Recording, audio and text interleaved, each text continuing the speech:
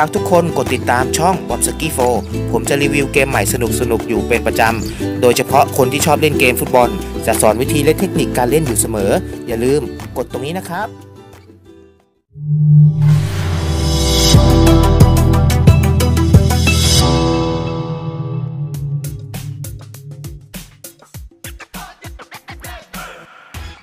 วัสดีครับพบกับผมบอมสกี้โฟนะครับ ตอนนี้เราอยู่กันในเกมฟุตบอล m ม n เจอร์2019 Mobile หรือ FMM 19 นะครับ คลิปนี้จะเป็น EP ที่ 12 ที่ผมได้สอนเล่นเกมนี้ไว้นะครับผม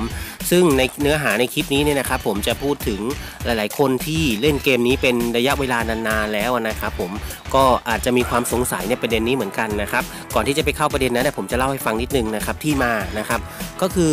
ออย่างที่เราเราเรารู้กันนะครับเกมนี้เนี่ยจะเป็นลักษณะของ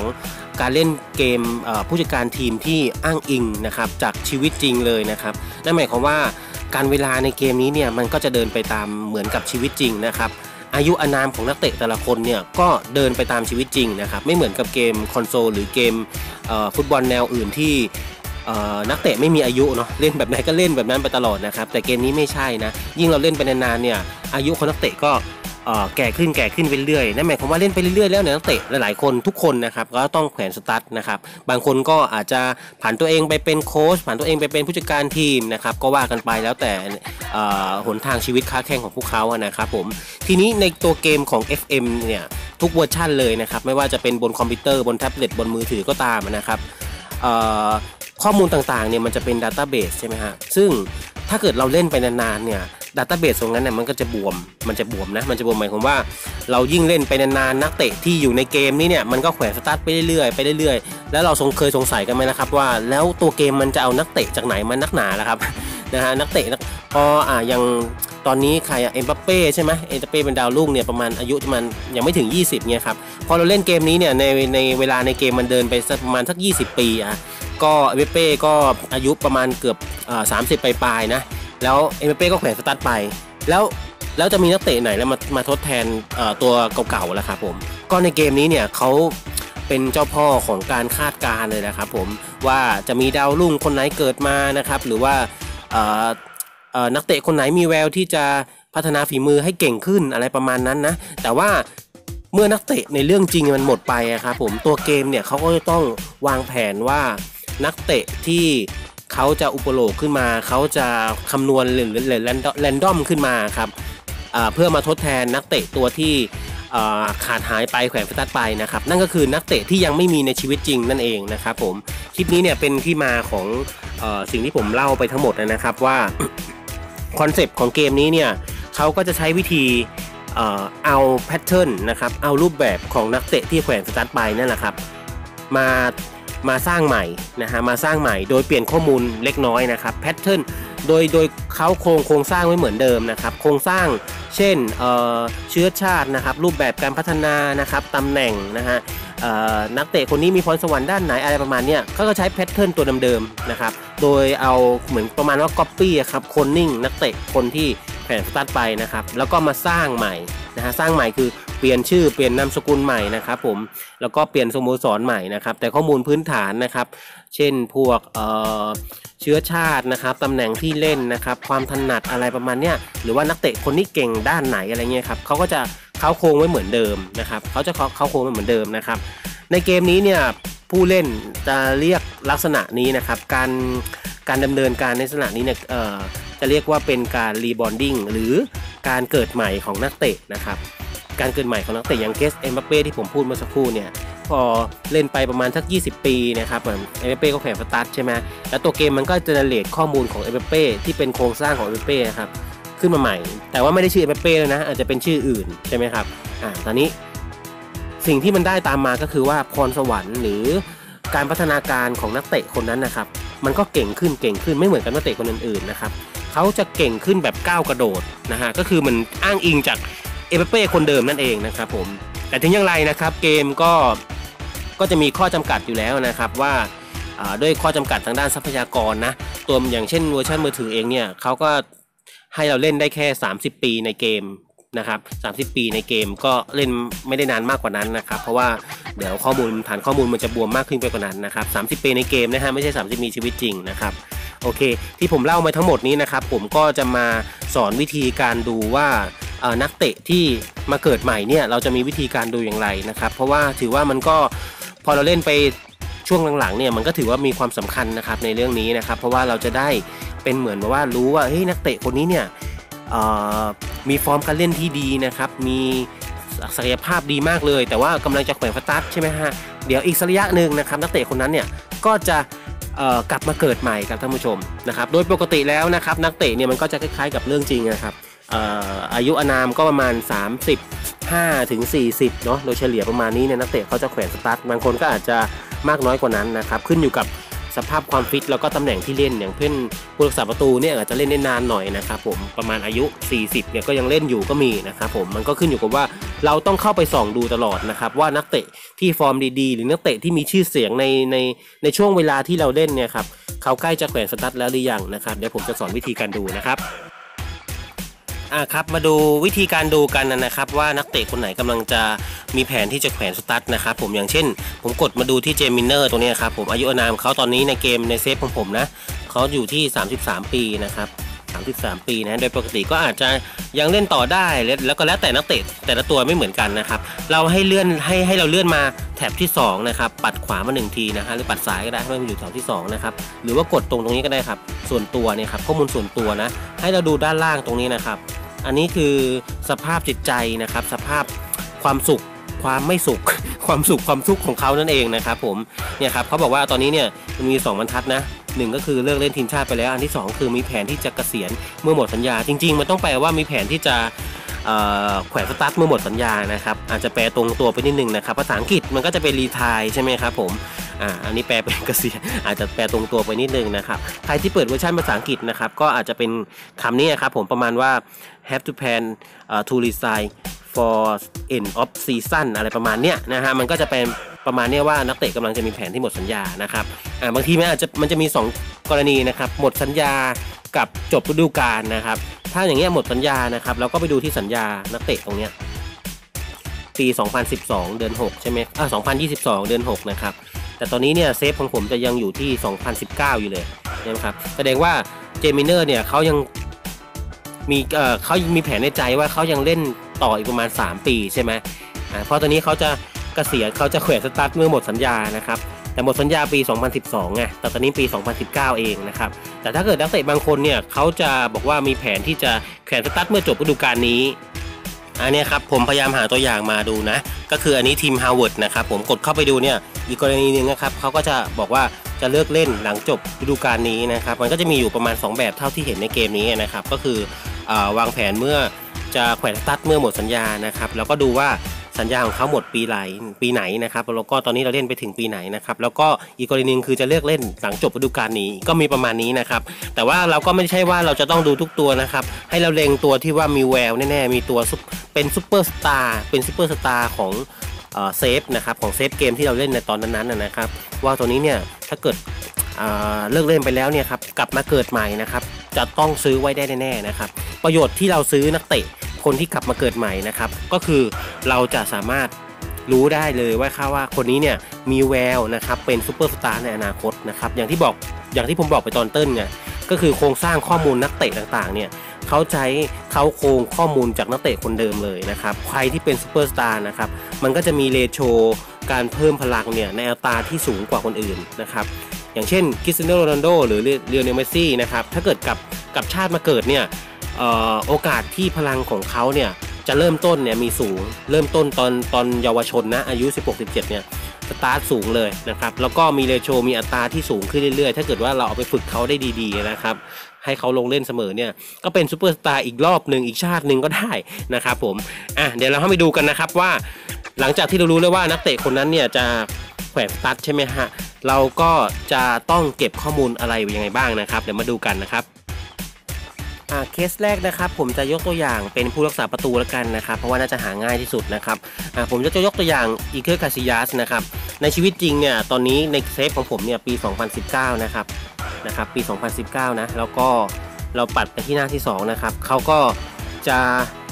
เกษียณนะครับแขวนสตาร์ทแขวนถุงมือเมื่อหมดสัญญาเหมือนกันนะครับ หมดปี 2020 ก็คือปีหน้านั่นเองนะครับผมปีหน้านั่นเองนะครับอันนี้เนี่ยอย่างที่ผมบอกเนาะเกมนี้เนี่ยมันอ้างอิงจากเรื่องจริงมากๆเลย ผมคิดว่า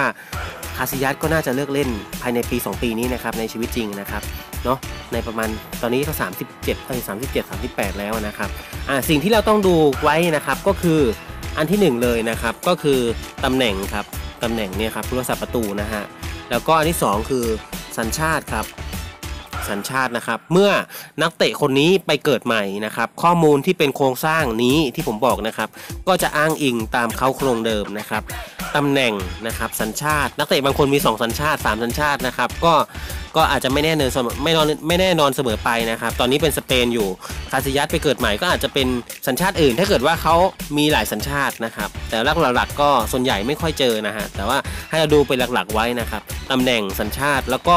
การถนัดครับว่าถนัดเท้าซ้ายเท้าขวานะครับ อันนี้ถนัดเท้าซ้ายนะ ถนัดเท้าซ้ายนะครับเอาใหม่นะตำแหน่งนะครับ สัญชาตินะครับ การถนัดนะครับเท้าซ้ายเท้าขวานะครับอ่าอันนี้คือจุดหลักๆนะครับ และสิ่งที่ต้องเราต้องดูนะครับ อันต่อมาก็คือเอ่อในบริเวณนี้ครับก็คือเอ่อโทษทีครับ ก็คือค่าพลังของเขานั่นเองนะครับ ค่าพลังอะไรที่มันโดดเด่นนะครับ เวลาเขาไปเกิดใหม่เนี่ยค่าพลังนั้นก็จะติดตัวไปอยู่ มันก็คือ pattern นั่นเองที่ผมเล่าให้ฟังตอนแรกนะครับ pattern นั่นเองนะครับ pattern คือแพทเทิร์นค่าพลังเนี่ยเวลาไปเกิดใหม่ใช่ไหมฮะมันก็ไม่ได้เป๊ะๆตามนี้นะ มันต้องเริ่มจากน้อยๆก่อนใช่ไหมอันนี้คือจุดน่าจะเลยจุดพีคของเขาไปแล้วนะครับ ซึ่งค่าพลังมันก็ไม่ได้สูงมากแล้วตอนนี้นะครับ เพราะว่าเขากำลังจะแขวนสตาร์ทจะเลยจุดพีคไปแล้วนะครับ เนี่ยครับให้เราดูจุดหลักๆนะครับที่มันเป็นสีเขียวเนี่ยนะครับสามสี่อันตรงเนี้ยนักเตะแต่ละคนมีมีค่าพลังไม่เหมือนกันอยู่แล้วใช่ไหมฮะว่าอันไหนมากอันไหนน้อย ให้เราดูสิ่งที่มากๆไว้ครับนะครับอะความเป็นผู้นำนะครับ ความคล่องตัวการสื่อสารปฏิกิริยานะครับ ดูประมาณนี้ไว้ก่อนนะครับ เวลานักเตะคนนั้นเนี่ยไปเกิดใหม่เนี่ยค่าพลังที่มันเป็นสีเขียวอยู่ ก่อนที่เขาจะแขวนสตั๊ดเนี่ยเวลาเขาไปเปิดเกิดใหม่ปุ๊บค่าพลังเหล่านั้นนะครับมันก็จะโดดเด่นกว่าค่าพลังอื่นๆนะครับอะจำภาพนี้ไว้นะครับท่านผู้ชม อันนี้ปี 2019 นะครับคือเผอิญว่าผม save ไว้หลาย save เนี่ยครับมันก็เลยเปรียบเทียบได้นะเป็นเป็นเกมชุดเดียวกันนี่แหละแต่ว่า save ไว้หลาย save นะครับอะตอนนี้ปี 2019 นะครับเดี๋ยวผมจะเดี๋ยวผมจะนั่ง time machine ไปปี 2022 21 22 ไม่แน่ใจ ก็คือเป็นปีที่คาซิยัสเนี่ยแขวนสตั๊ดแล้วนะครับเดี๋ยวเราไปดูกันว่า เราไปตามหาว่าคาซิยัสเนี่ยเกิดใหม่จะเป็นใครนะครับเอาไปดูกันนะครับอ่าตอนนี้ท่านผู้ชมผมนั่ง time machine มาที่ปี 2022 แล้วนะครับผมซึ่งเป็นปีที่อิเคร์คาซิยัสเนี่ยแขวนน่าจะแขวนถุงมือไปเรียบร้อยแล้วนะครับเดี๋ยวเรามาตามหากันนะครับว่าคาซิยัสในปีนี้เนี่ยเขามาเกิดเป็นใครนะครับอ่าวิธีการหานะครับแล้วกดไปที่แว่นขยายเนี่ยครับค้นหานักเตะนะครับนะครับ แล้วก็ข้อสมัยนะครับ เดี๋ยวผมกด reset นิดนึงนะครับ เนี่ยครับเราก็หาตามข้อมูลที่ผมได้ให้ให้ให้จำไว้ตอนนั้นนะครับ เราอาจจะ print screen หรือจดไว้ก็ได้นะครับ ก่อนอื่นเลยคือสัญชาติครับผม อันนี้เอ่อสเปนเนาะคาซิยัสสเปนตึ๊ดตึ๊ดสเปนิสนะครับอ่าเสร็จแล้วตำแหน่งก่อนเลยครับตำแหน่งก็คือผู้รักษาประตูนะครับ แล้วก็อ่าผู้รักษาประตูนี้ผมคลิกแล้วนะครับ แล้วก็ตำแหน่งเออเท้าที่ถนัดนะครับ ก็เป็นเท้าซ้ายนะครับ เท้าซ้ายตรงนี้นะฮะ นะครับอันนี้คือจุดสำคัญนะ แล้วอันต่อมานะครับอยากจะให้กดตรงนี้ด้วยนะครับก็คืออายุครับแน่นอนว่าเด็กมาเกิดใหม่มันต้องอายุน้อยๆแน่ๆนะครับมันจะได้ลดสโคปลงมานิดหนึ่งนะครับอายุ0ถึง21นะครับอันต่อแต่บางทีมันก็กว่าเราจะมาค้นหามันก็เกิน 21 ไปแล้วนะครับอันนี้มันขึ้นอยู่กับว่าเราค้นหาช่วงไหนนะถ้าเกิดผมไปค้นหาไอเคคัสยัสในชาติที่2เนี่ยตอนสักประมาณปี 2025 อะไรเงี้ยคาซิยัสก็อาจจะอายุ 20 กว่าแล้วนะครับ มันขึ้นอยู่กับว่า เลทของอายุตอนนั้นน่าจะเป็นอายุเท่าไหร่นะครับนะช่วงนี้น่าจะเป็นไม่เกิน 21 อยู่แล้วผมคิดว่านะครับอ่าต่อมาก็คืออันรายละเอียดนะครับรายละเอียดเนี่ยให้กดตรงนี้ครับเพิ่มคุณลักษณะนะครับ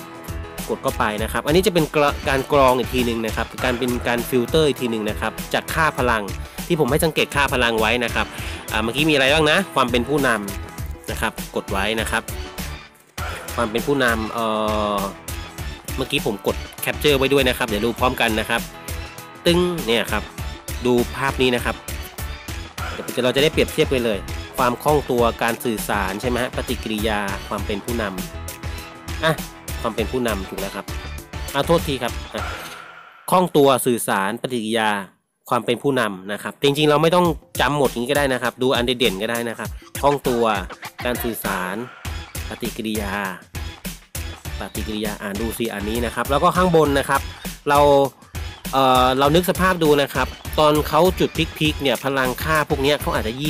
20นะครับอาจจะเต็มแม็กเลย 20นะครับหรือว่าเมื่อกี้เนี่ยคาซิยัสกำลังจะแขวนสตาร์ทใช่ไหมมันก็ลดลงมาประมาณ 16-17 แล้ว แต่ว่าลองนึกภาพดูถ้าเกิดเขาไปเกิดใหม่เนี่ยมันไม่ได้เริ่มแบบว่า 20 เลยหรือ 16 17 18 เลยนะครับ แต่ว่ามันก็ต้องมีอัตราที่มากกว่า มากกว่าค่าพลังอื่นๆอยู่แล้วนะครับนั่นคือ pattern ที่ผมเล่าให้ฟัง ค่าพลังอันไหนที่โดดเด่น มันก็จะโดดเด่นตั้งแต่เกิดจนถึงแขวนสตั๊ดเลยครับเอ่อไอตัวค่าต่ำสุดนะครับ ผมแนะนำว่าลอง search จาก10 ก่อนนะครับจาก 10อาจจาก15 ก่อนจาก 13 ก่อนก็ได้ประมาณนี้นะครับ ดูว่ามีนักเตะที่เราต้องการไหมกดตกลงไปนะครับเนี่ยค่าพลัง 4 4 ค่าพลังที่เราคัดมาที่เราฟิลเตอร์มานะครับ ค่าต่ำสุด 13 นะครับ ค่าสูงสุดมัน default ไว้แล้วก็คือ 20 นะครับ ลองดูนี้ก่อนว่ามันมีไหมนะครับ แล้วกดตกลงไป ไม่มี ไม่มีเพราะว่ามันอาจจะยังไม่ได้ค่าพลังบางอย่างมันอาจจะยังไม่ถึง 13 ก็ได้นะครับ เราลดเหลือ 10 ก็ได้ 10 ทุกอย่าง หรือเราไม่จำเป็นต้องเอาทั้ง 4 อันเลยก็ได้นะครับ นักเตะแต่ละตัวมันก็ไม่เหมือนกัน ก็ยังไม่มีนะครับ ยังไม่มี เอ่อ ผมเอาสัก 8 9 หรือเอาอะไรออกไปสักอย่าง ผมคิดว่า ผมคิดว่าการสื่อสารเอาออกก่อนล้วกัน เอาประมาณนี้ก่อน มีหรือเปล่า ไม่มี ไม่มี ไม่มีลดเหลือง9แล้วกัน ไม่มี ไม่มี ไม่มีแปดล้วกัน ไม่มี เอ๊ะ ผมเลือกอะไรผิดไปหรือเปล่าเดี๋ยวดูนะ เท้าซ้ายนะครับ รายละเอียดไม่มีงั้นผมเอาทีละอันล้วกัน ผมคิดว่าความเป็นผู้นำมีแววตั้งแต่เด็กๆ นะ เอาสองอันนี้ ปิ้ง ไม่มี เอ๊ะ เดี๋ยวนะ เดี๋ยวนะ อะไรเลือกอะไรผิดหรือเปล่า เออเอาออกเลยอันเดียวแล้วกัน นี่มีตัวหนึ่ง แต่ไม่รู้ว่าใช่หรือเปล่านะ มาดูแนวโน้มกันนะครับ เจอตัวหนึ่งแล้ว อันนี้เราผมกองแค่อะไรอะความเป็นผู้นำแสดงว่าถ้าใช่นะแสดงว่าคาซิยัสเนี่ยมีค่าพลังโดดเด่นในการความเป็นผู้นำในช่วงอายุที่ผมค้นหาเนี่ยครับมากกว่าค่าพลังอื่นนะครับแต่ว่าค่าพลังอื่นมันก็ต้องเยอะกว่า 4 4 อันที่ผมเลือกมาเนี่ยมันก็ต้องเยอะกว่าค่าพลังอื่นๆด้วยนะเดี๋ยวเรากดเข้าไปดูกันนะครับอะดูเลยนะครับ เบื้อง อันนี้เอ่อ ผู้รักษาประตูอาจจะดูยากที่หนึ่งเพราะว่ามันมีตำแหน่งเดียวที่เราให้สังเกตได้นะครับอะดูค่าพลังนี้ครับท่านผู้ชม การสื่อสาร 19 ความเป็นผู้นำ18 นี่ครับ เมื่อกี้เราเจอเราค้นเราเราหาเราฟิลเตอร์ 4 อย่างเนี่ยมันก็เลยไม่เจอนะแล้วมีอะไรบ้างนะ 4 อันใช่ไหมเอ่อปฏิกิริยา 9ใช่ครับ แล้วก็อะไรอีกอันหนึ่งนะ เอ่อ ความคล่องตัว 7 ไอที่เราค้นหาไม่เจอก็คือความคล่องตัวกับปฏิกิริยามันได้ 7 กับ 9 เท่านั้นนะครับ แต่ว่าการสื่อสารแล้วก็ความเป็นผู้นำเนี่ย18 19นะครับถือว่าโดดเด่นขึ้นมาเลยทีเดียวนะครับ อายุ 16 ปีผมคิดว่ามันเขาเพิ่งเกิดแน่นอนนะครับ เดี๋ยวเราลองดูกันนะเปรียบที่แบบนี้นะครับว่าใช่ไหมเปี้ยงแบบนี้นะครับ แล้วลองดูครับลองดูครับท่านผู้ชม ลองช่วยผมดู ลองช่วยผมดูแพทเทิร์นดูนะครับว่ามันใช่คาซิยัสมาเกิดใหม่หรือไม่ นะครับ เราดูจากค่าพลัง เราดูจากค่าพลังที่มันเป็นแพทเทิร์นที่มันอันไหนมากก็จะมาก อันไหนน้อยก็จะน้อยนะฮะผมคิดว่าใช่นะครับ ผมคิดว่าใช่นะ ถึงแม้ความคล่องตัวกับปฏิกิริยามันแค่เจ็ดกับ 9 เนี่ย แต่ว่าเขาอายุ 16นะครับ ถ้าเล่นไปสักระยะหนึ่งเนี่ย นักเตะคนนี้เนี่ยเขาก็จะค่าพลังในในส่วนที่มันเป็นจุดเด่นของคาซิยัสในชาติเดิมนะครับ เขาก็จะเพิ่มขึ้นเรื่อยๆนะผมคิดว่าอย่างนั้นนะครับคิดว่าน่าจะใช่แน่ๆครับ โดยปกติแล้วเนี่ยนักเตะหลังจากที่แขวนสตัดไปแล้วเนี่ยเขาจะกลับมาเกิดใหม่เนี่ยภายในปีหรือ 2 ปีนะครับตามสถิตินะนะครับภายใน 1-2 ปีนะครับผมอะผมคิดว่าใช่นะครับเคสนี้นะครับส่วนชื่อชื่อนักเตะมันจะเกิดจากการแรนดอมนะไม่เหมือนกันนะครับคุณผู้ชมลองไปดูคาซิยัสของตัวในเซฟของตัวเองนะครับอาจจะไม่ได้ชื่อนี้ นะครับอาจจะไม่ได้ชื่อนี้นะครับคอเคอร์ชาอะไรสักอย่างนะครับเป็นชื่อที่มันแรนดอมขึ้นมานะครับ ส่วนหน้านักเตะนะครับไม่มีแน่นอนครับเพราะว่านักเตะที่เกิดใหม่ไม่มีรูปหน้านักเตะนะครับ เพราะว่านักเตะแต่ละคนเนี่ยจะเชื่อมโยงรูปหน้านักเตะด้วย ID ครับนักเตะที่เกิดใหม่เนี่ยเราจะสามารถหารูปมาใส่หน้าเขาก็ได้ครับ ถ้าเรารู้ ID นะครับแต่ว่าในการหาเนี่ยมันค่อนข้างซับซ้อนนิดนึงนะครับจะไม่ได้พูดถึงในคลิปนี้นะครับผม นักเตะที่เกิดใหม่ไม่มีรูปภาพโดย default นะครับ ถ้าเราอยากจะใส่รูปเราต้องหารูปมาใส่นะครับ ซึ่งมีขั้นตอนที่ซับซ้อนนิดนึงนะครับ อันนี้เคสแรกผ่านไปนะครับ เดี๋ยวเรามาดูอีกสักเคสหนึ่งนะครับครับเรามาดูอีกเคสหนึ่งนะครับผมสำหรับเคสที่ยอดนิยมนั่นก็คือคริสเตียโนโรนัลโดนั่นเองนะครับผมโรนัลโดใน save นี้ของผมเนี่ยอายุ 34 ปีนะครับผมเพียงแต่ว่าเมื่อเราปัดมาด้านขวาเนี่ย เขาบอกว่ายังไม่ได้มีแผนที่จะแขวนสตั๊ดนะครับเพียงแต่ว่าใน save ของผมในอีก save หนึ่งนะครับผมซึ่งเป็นเกมชุดเดียวกันนี่แหละผม save ไป2 save นะครับก็คือปี 2022 เมื่อสักครู่เนี่ยโรนัลโดไม่มีแล้วนะครับนั่นหมายความว่าโรนัลโดแขวนสตั๊ดไปแล้วในในช่วงระหว่างที่ผมเล่นนะครับทีนี้เรามาดูกันนะครับเรามาตามหาโรนัลโดกันนะครับอย่างที่ผมบอกเนาะอันที่ 1 ก็คืออะไรครับตำแหน่งครับอันนี้ดูง่ายเลยครับไม่ใช่ผู้รักษาประตู เพราะว่าตำแหน่งมันโรนัลโดเนี่ยเล่นไล่ได้หลากหลายมากมายเลยครับดูจุดสีเขียวสีส้มสีแดงตรงนี้นะครับ เดี๋ยวพอไปเกิดใหม่ปุ๊บ pattern มันจะตามนี้เลยเป๊ะเลยนะครับแล้วก็เท้าที่เขาถนัดก็คือเท้าขวานะครับสัญชาติโปรตุเกสนะครับโปรตุเกสนะครับผมอ่าแล้วก็ดูค่าพลังนะครับก็มีประมาณนี้นะฮะเด่นๆ จุดเด่นๆก็จะเป็นพวกของการยิงประตูนะครับความสามารถเฉพาะตัวนะครับความเป็นผู้นำการเคลื่อนที่นะความแข็งแกร่งนะครับเดี๋ยวเราดูกันเดี๋ยวเราดูกันว่าเมื่อโรนัลโดเกิดใหม่ จะมี pattern แบบนี้เนี่ยเขาจะเป็นใครนะครับเดี๋ยวไปดูอีก save หนึ่งผมนะครับ อ่าผมนั่ง time machine มาที่ปี 2022 อีกครั้งหนึ่งนะครับผมตอนนี้โรนัลโดไม่มีเป็นนักเตะแล้วนะครับเอ๊ะบางคนถามว่าเอ่อถ้าเกิดโรนัลโดถ้าเกิดว่านักเตะผันตัวเองไปเป็นสตาฟโค้ชหรือผู้จัดการทีมเนี่ยแล้วเขาจะเกิดใหม่หรือเปล่าเกิดครับผมมันแยกกันนะครับแยกกันข้อมูลแยกกันเลยนะครับโรนัลโดตัวจริงก็ยังอยู่ในชาตินั้นก็ยังอยู่ใช่ไหมฮะในชาตินั้นเนี่ยยังอยู่เป็นผันไปเป็นสตาฟโค้ชไปนะครับแต่ว่าข้อมูลนะครับหลังจากนั้นถึงแม้ โรนัลโดที่ยังเป็นสตาฟโค้ชอยู่ยังอยู่ในเกมอยู่นะครับ แต่ว่าข้อมูลเนี่ยตัวเกมมันก็ก๊อปปี้โครงสร้างมาเหมือนเดิมนะครับก็คือมาเกิดใหม่เหมือนเดิมนะครับ ข้อมูลแยกกันอยู่แล้วนะครับอะโอเค เดี๋ยวเรามาตามหากันนะครับตำแหน่งเมื่อสักครู่เป็นเขียวๆตรงนี้ใช่ไหมฮะอะผมกด 3 จุดละกันแบบนี้นะครับ แล้วก็เท้าอะไรนะ เท้าขวาใช่ไหมครับ ข้อมูลทั่วไปตรงนี้ก็เป็นสัญชาติโปรตุกีสนะครับโปรตุกีสกดไปนะครับ แล้วก็อายุ อายุก็ยี่ศูนย์ถึงยี่สิบเอ็ดนะครับ แล้วละเอียดค่าพลังนะครับ ผมใส่เป็นการเมื่อกี้มีอะไรบ้างนะการจบสกอร์อยู่ไหนครับ การยิงประตูตรงนี้นะครับ ความเป็นผู้นำความคล่องตัว การเคลื่อนไหวคือแปลไม่อาจจะอาจจะงงนิดนึงนะครับ อีกอความคล่องตัวอยู่ตรงนี้ครับอ่าเอาประมาณนี้ก่อนแล้วกันนะครับ เอาค่า 12 แล้วกัน ดูซิว่าเจอไหมไม่เจอนะครับเดี๋ยวผมขออนุญาตดูภาพนิดนึงนะครับอ่าดูภาพนี้ครับท่านผู้ชม ก็จะมีเล่นลูกกลางอากาศใช่ไหมการยิงประตู ความสามารถเฉพาะตัวเขาเป็นผู้นำเอาเอาเอาเอาสักสามสี่อย่างก็พอ ลูกกลางอากาศ เฉพาะตัวความสามารถเฉพาะตัวการยิงประตูเอาประมาณนี้ก่อนนะครับอะผมปรับมาแค่เหลือ 10 ก่อนแล้วกัน เจอไหม ไม่เจอใช่ไหมฮะ เอ่อ ความคล่องตัว ความเป็นผู้นำนี่น่าจะยังน้อยนะตอนเด็กนะครับ คือมันถ้าเกิดว่าสังเกตนะครับ ถ้าเราค้นหาหลายอย่างเกินไปมันอาจจะไม่เจอนะ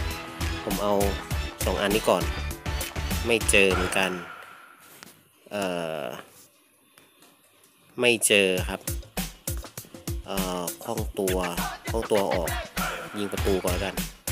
แต่ผมคิดว่าผมไอ้นี่ผิดนะ ตรงตำแหน่งตำแหน่งเนี่ยผมเอาแค่แบบนี้ก่อนแล้วกัน เอาออกไปเลยออกไปก่อนครับ แล้วก็อันนี้ก่อนโอ้มีมีหลายตัวเลยครับ ถ้าอย่างนี้คือตำแหน่งมันอาจจะเมื่อกี้อาจจะกดผิดครับ อาจจะเลือกผิดเอ่อเนี่ยครับคริสโนโรนโดเข้าใจว่าอาจจะมีสัญชาติบราซิลด้วยนะเนี่ยมันมีสัญชาติบราซิลติดอยู่ด้วยเห็นไหมครับเขาอาจจะเกิดใหม่เป็นสัญชาติบราซิลนะครับ แต่สิ่งที่สังเกตนะครับโรนัลโดนะครับตำแหน่งที่เขาเล่นครับท่านผู้ชม